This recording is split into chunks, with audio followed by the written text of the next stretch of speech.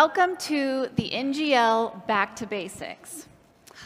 Five months ago in Birmingham, we came together and decided to focus on the human to human interaction during the visitor journey. We saw during this visitor journey there were four different touch points which we will be talking about today registration, experience, matchmaking, and hospitality. Indeed, that was a great experience. So we exchange, learn, and exchange the culture as well. So join us, the visitor's journey. And our journey will start with the first touch point, which is going to be the registration. Laura, stage is yours. Thank you, Fuad. Good morning, everybody. Do you remember the registration process for events you have been to? What is easy? What is efficient? What is quick? What kind of information were you asked for? And the most important thing, how did you feel? Does the video ring any bells?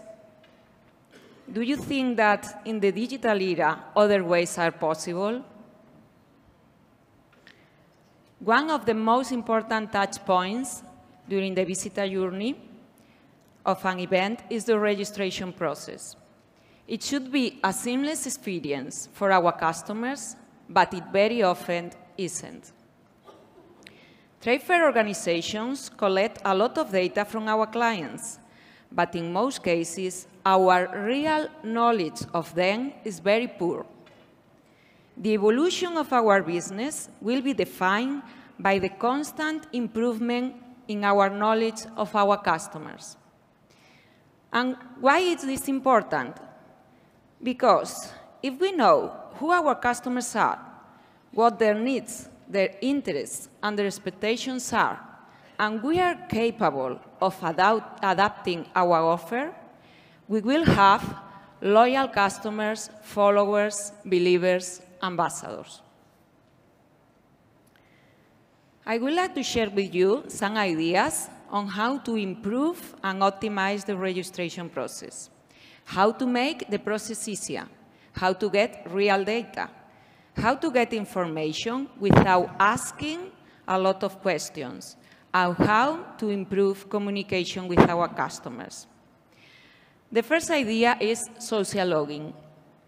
Social login uses data from social media networks, such as LinkedIn, and has a lot of advantages. It is quick. The customer only has to click on the social media button and the data automatically transfers to the registration process. It is easy. Users don't need to remember different usernames and passwords. And it is reliable. Professional networks act as online business cards, in it is in the user's interest to make sure the information is accurate and up to date. The second way of getting professional data from our customers without asking too many questions is by using the information available in public registers online. For example, if we know the name of the company, we can find out the turnover or the number of employees or if the company belongs a trade association or a chamber of commerce. And, and this is very important, this information is real and verifiable. Any further information that organizer needs can be asked for in a simple way, directly. The customer is much more likely to answer if they haven't had to spend a lot of time answering other more basic questions. And finally, a large amount of information can be obtained from tracking visitors during events. Where do they go? What stands do they visit? Who do they meet? And what restaurants do they eat in? So, what are the advantages for trade fairs of improving the registration process and of compiling lots of data? One advantage is that organizers can prioritize the purchase moment. If we ask customers to manually input a lot of data, they may abandon or the registration process because feel frustrated. The quicker the customer arrives at the moment of purchase, the less likely that accreditation will be abandoned or delayed.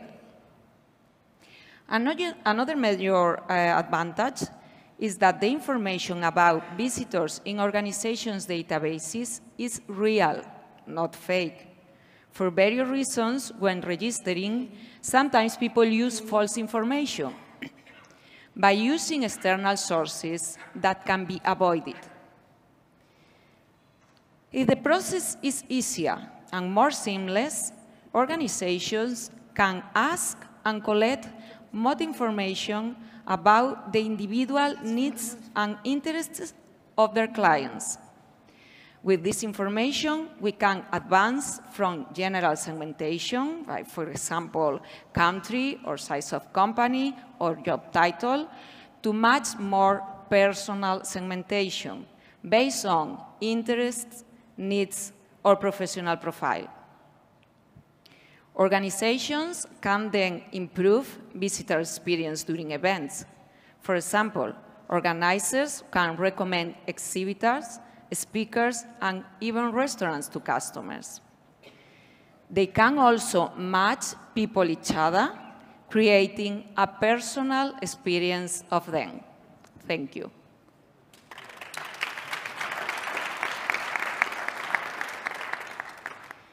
And after registering, the visitor has arrived and Cinzia is ready for the show. Thank you.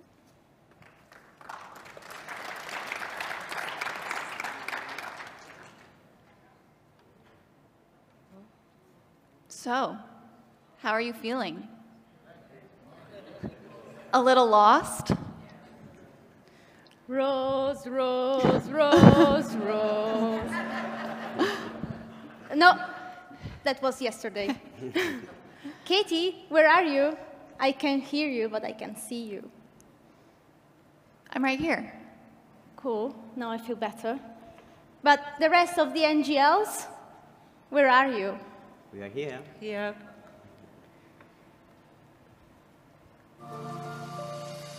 When visitors enter an exhibition for the first time, they feel lost. They don't know where to go. They need interactions. They need connections. So please take your smartphones, turn on your torches, and help me find my way. Perfect. Now it's better. I feel better. Let's wave with me. I need to know where are you? AV team, you can join us as well if you want to.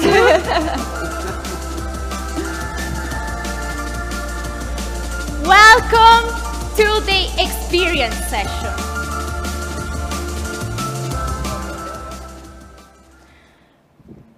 When people ask me what is my job, I usually answer with this image. I'm Lucy, by the way, not the customer of Lucy. In truth, my job is to help coordinating young students that want to become one day exhibition and event managers. I really love my job because I'm always up to date with the newest trends since they are always 23 years old.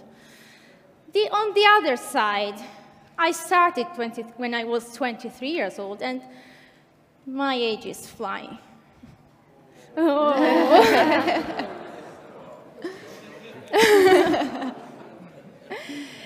Every year for the Global Exhibitions Day, I ask my students to help me. I collected more than 120 answers because I ask them every year to write a sentence on why do they love exhibitions.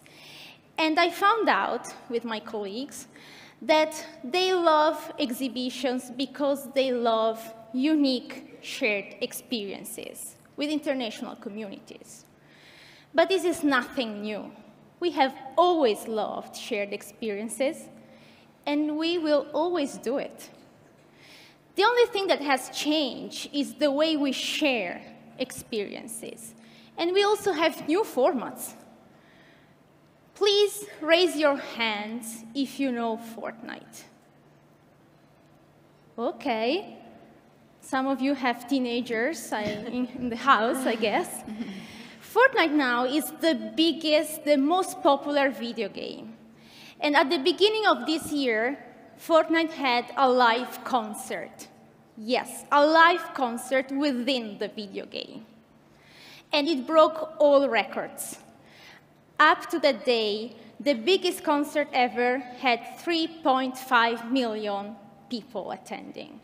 Fortnite had 10.7 million, and their average age was 16 years old.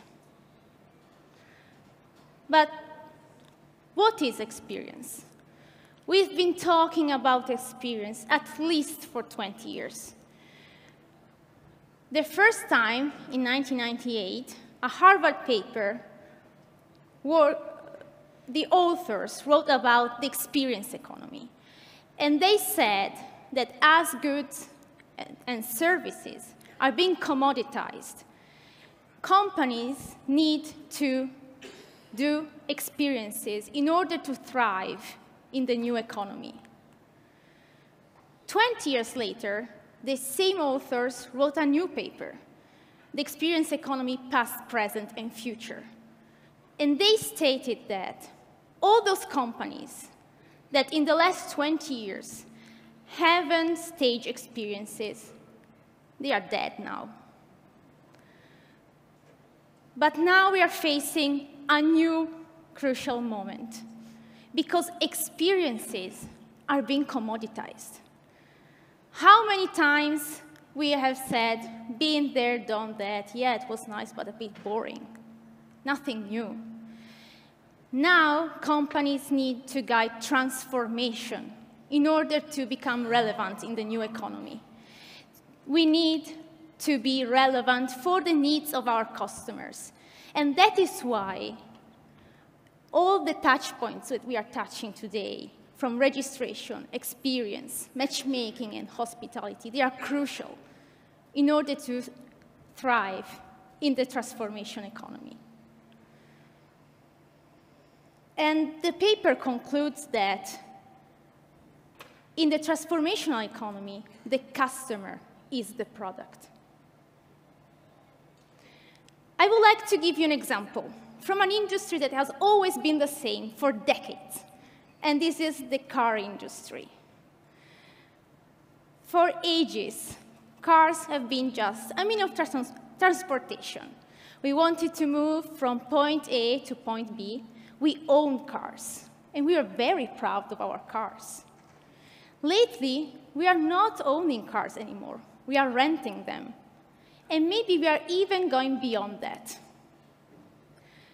This summer, the Asahi Shimbun wrote an article about a rental car service company that noticed they had many customers, but they traveled no distance. They wanted to know more about that, and so they decided to do a survey. And what they found out is quite interesting. Their customers use cars to take naps, to work, to storage, and even to practice rapping. So I would like to see that. And what does teaches, what, that, what this thing teaches us? That when we design products, services, and even experiences. We don't know how our customers are going to deal with it, how they're going to interact with them. So we have to constantly check on our customers. I would like to give you another example from art. Art used to be just paintings and walls. But now art is meeting tech, and things got really interesting. Because now art is staging experiences, but not just any experience. They are memorable, unique experiences. And what makes an experience unique is interactions.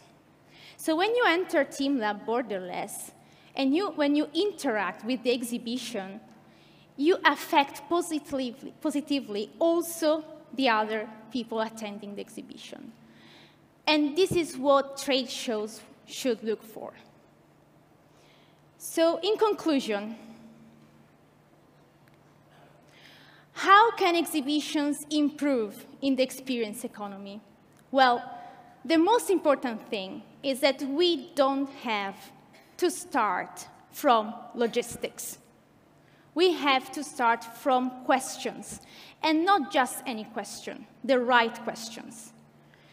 So we have to know our purpose. Each exhibition is different, and each exhibition needs to know what is the concept behind it, what is the purpose, what we want to do. Just to say we want to sell more, we want to connect more, it's not a purpose.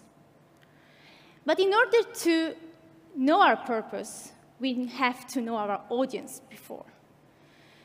When we started this session, I wanted to see you because you are my audience. And you also have to see your audience. Who are they? Why are they coming to an exhibition? How are they interacting with it? And if you want to know that audience that is coming, they are coming. They are arriving really fast. Those that play Fortnite and attend a live concert within a video game, you should ask the right people. So it's us, us on stage, but especially the young talents that you have in your companies. So this is the experience, but there is no experience without content, and content is king. Thank you.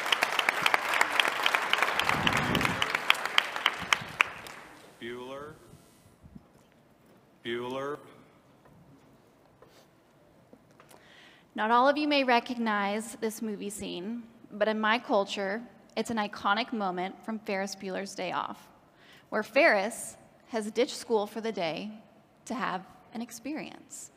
And Ben Stein, the professor, continues to stand up at the front of the classroom saying Bueller in the most monotone voice of all time. This to me represents how content is presented at trade shows and conferences around the world.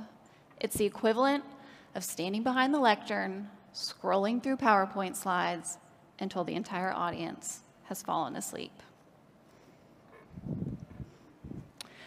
According to a recent study done by our friends at Explori, one of the questions asked of attendees is what would make shows more enjoyable? The number one answer presentations and talks delivered in different ways. 42% of attendees are wanting content delivered to them in different ways. So, what does this mean? Well, I don't know if it necessarily means strolling about the audience as if you're my best friends and not my potential future bosses. totally kidding, Rick McConnell or Stephen Carter, if you heard that. But what it does mean is that it's time for us to get off the stage and away from the PowerPoint. We need to make our audience feel something and experience something different. Silent disco talks. This format allows multiple speakers to speak within the same room at the same time. While attendees can choose who they want to listen to because they are equipped with wireless headphones. They can switch between, between channels in order to tune, tune into these different speakers. Attendees are able to enjoy bite-sized content and the information that they want to hear, ensuring that they're always listening to the speakers that interest them. Or what about the debate format? This format takes a central theme or question and has two speakers debate for or against. At the start, participants are polled to measure their opinion on this topic. Following the debate, they are polled again to see if they are now in favor or against. The winner of the debate is the one who managed to get the attendees to switch their votes. Talk about putting control back into your audience hands. Or what about including a soapbox? A soapbox at your event can provide attendees with a platform to have their ideas heard. Individuals can submit proposals to participate, and if they are chosen, they will be given a short time on stage to present an idea that is important to them. This is giving value back to your attendees and allowing them to participate in the talks rather than just being talked at.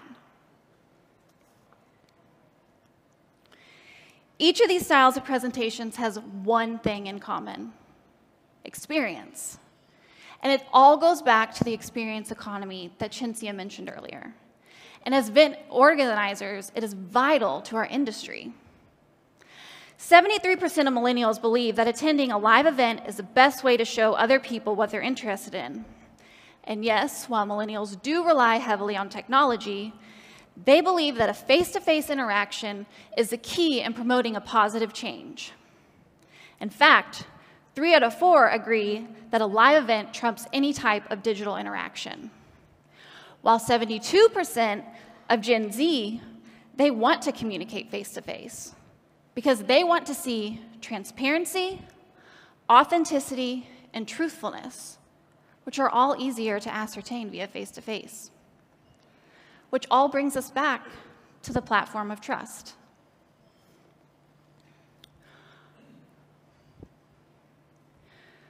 For those of you who participated in our thread board out in the coffee area, you may have noticed there are only two Generation Zs represented at this conference. This indicates a real issue. If you think millennials are changing the industry, Generation Z is right on our heels. The way we experience events, receive content, and meet face to face is not only being shaped by millennials, but also Generation Z. All of us up on this stage fall into, as some of you might see it, this dreaded millennial category. However, you might not have caught on that these millennials up here have actually been practicing what we're preaching to you all week. Between the post its in the bathroom, the interactive threadboard in the coffee area, or the chocolates encouraging you to introduce yourself to the person behind you. We tried to make a mark on this conference to show you what small touches can do to enhance the experience and to help build the face to face community of your event. After all, we're all just looking for an experience, aren't we? And if you don't believe me, just ask Ferris Bueller. Thank you, Katie.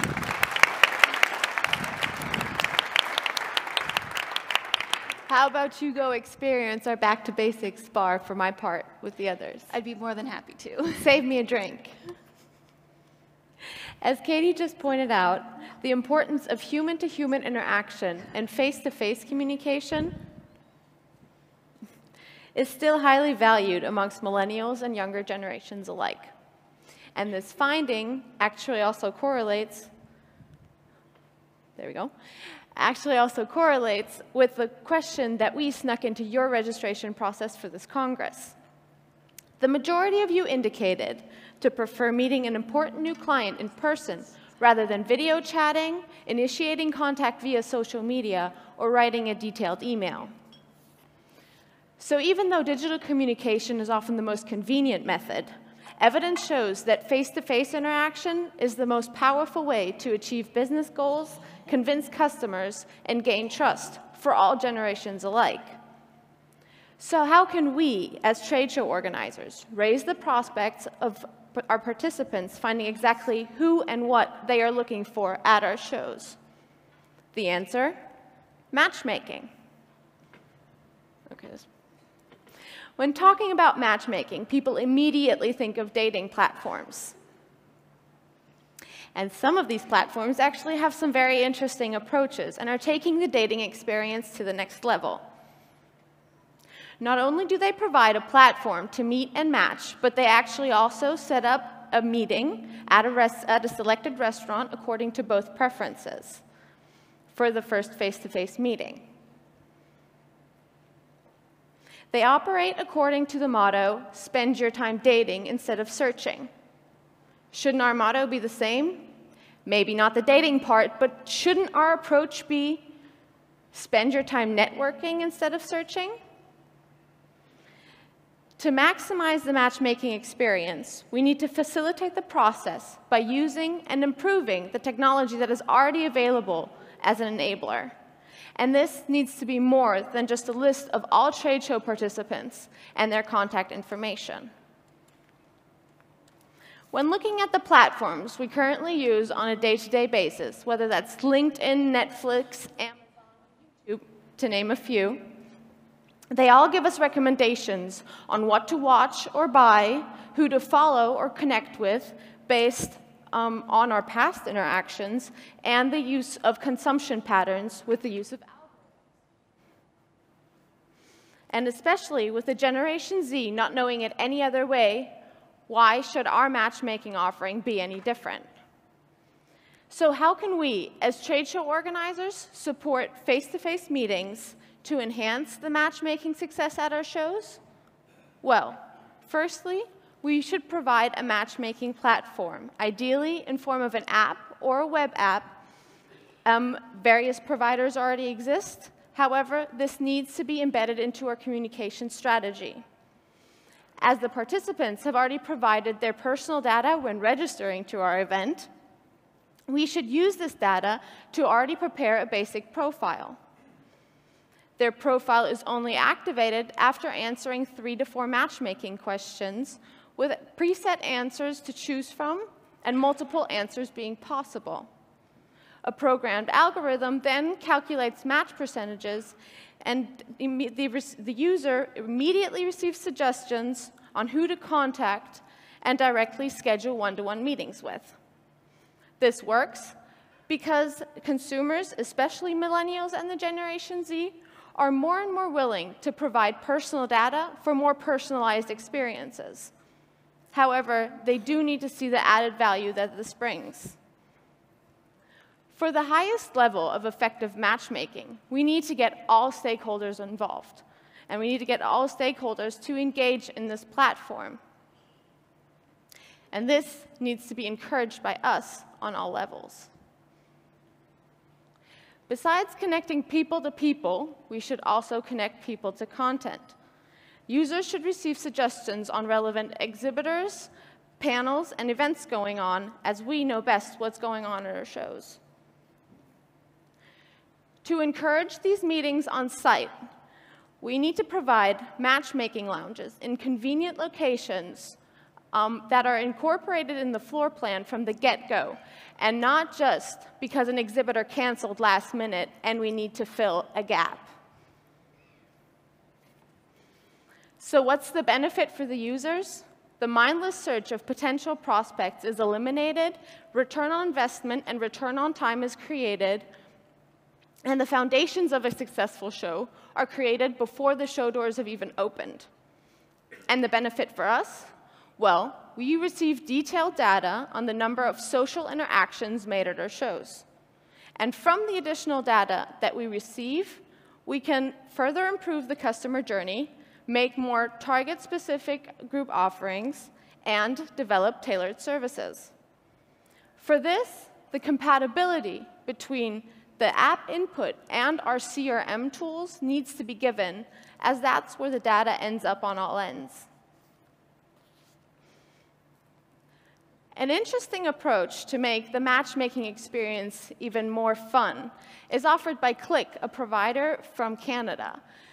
Contact information is exchanged when holding the two badges together, and in my point, very convenient, because let's be honest, exchanging business cards is always a little bit of a hassle, and did I even bring enough business cards to this event?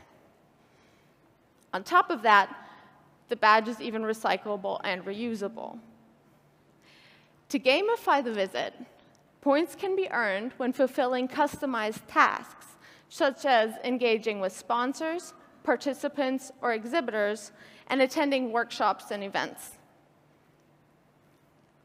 By incorporating a navigating function, the pain point wayfinding can also be addressed and eliminated, with suggestions on relevant content being made along the way to the desired destination. So as you can see, many elements are exist, and the possibilities are endless. Now it is our job to craft a matching strategy, preferably co-designed by our stakeholders, and function as matchmakers to enable more meaningful and high quality connections at our shows, and create handshake moments, or wai moments, as we are in Thailand after all. And now Fuad will continue our journey with his take on hospitality.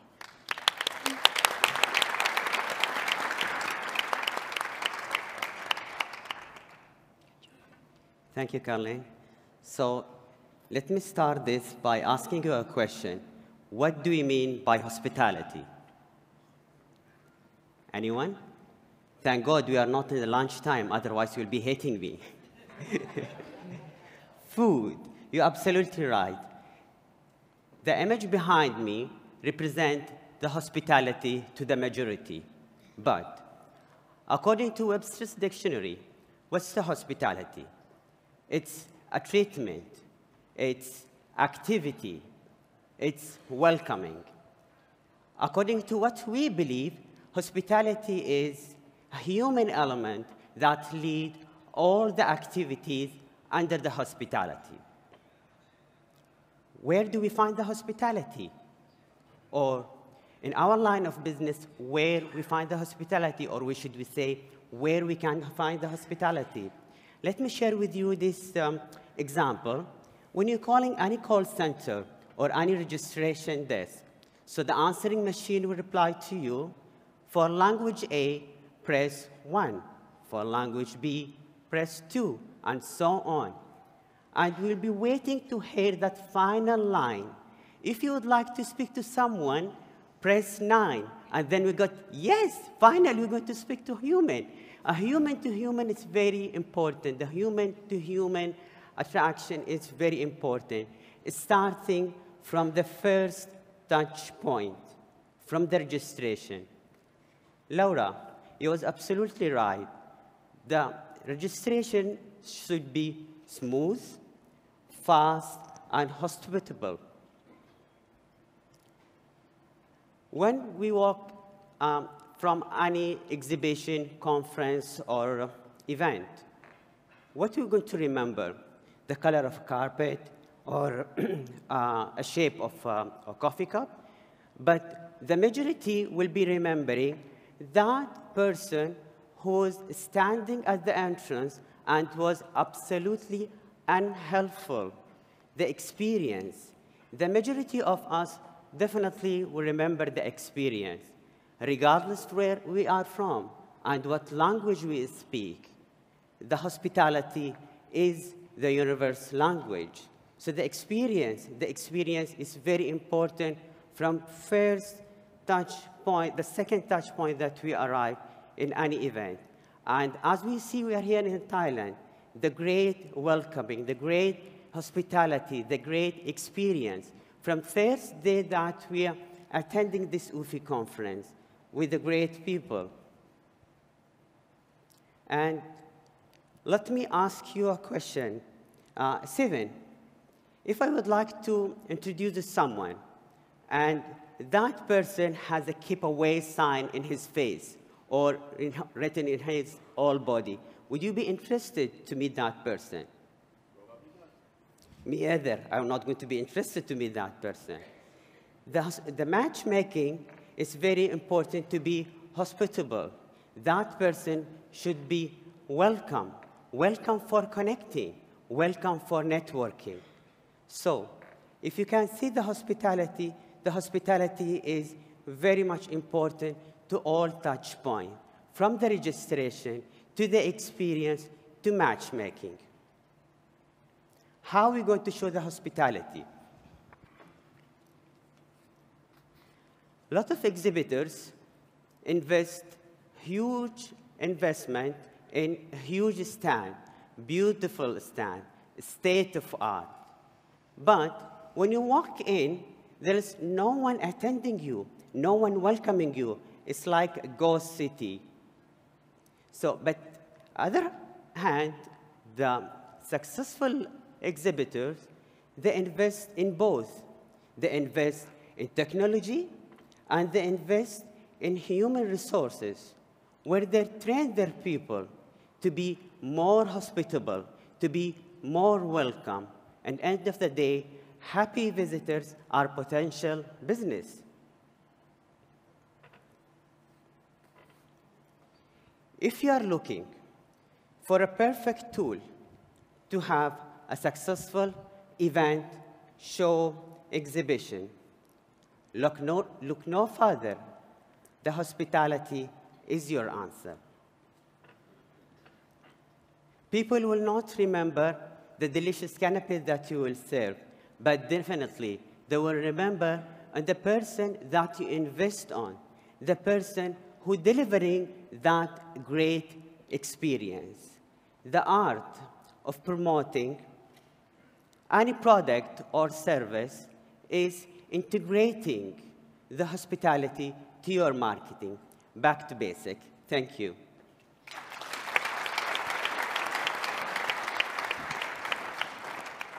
Thank you, Fuad. Well, what a ride. This is the end of our presentation, but the journey has just begun. Our journey started many months ago, though. We started after Birmingham. We asked you a question during the registration process. And we created FOMO. We created an official hashtag, and we did tweets and posts. We also, during these days, interacted with you.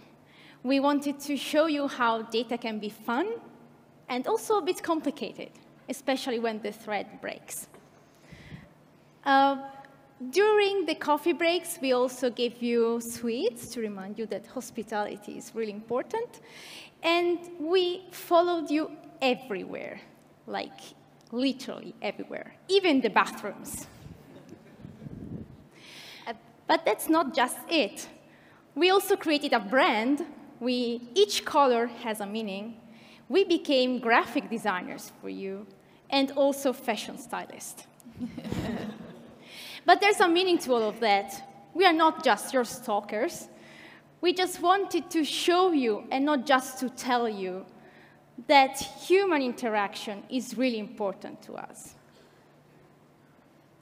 At this point, we would like to send a great shout out to my colleagues at Deutsche Messe from the digital transformation team for their great and inspiring threadboard idea that we kind of wanted to show you at this point at the event. So can I have a big round of applause for them in Hanover?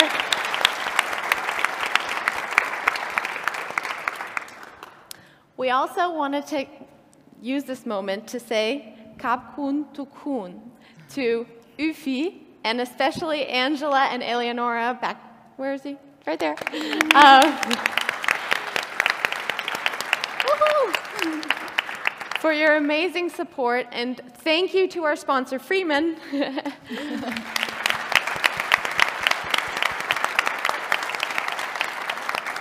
for making this whole experience possible. Very thank you, thank you, thank you. Our last question on the thread board. and sorry, Kai, we took a picture of you because it just looks great. Um, it's 2025. Did you help shape the future of trade shows? And the majority of you said yes, with the others saying, I hope so. So the ambition is there. Now it's up to all of us.